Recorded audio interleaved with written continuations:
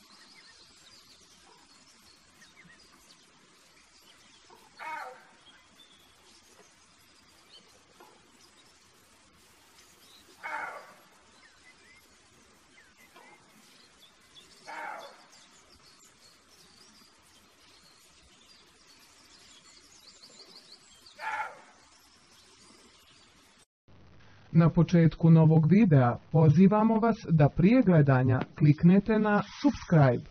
Ništa vas ne košta.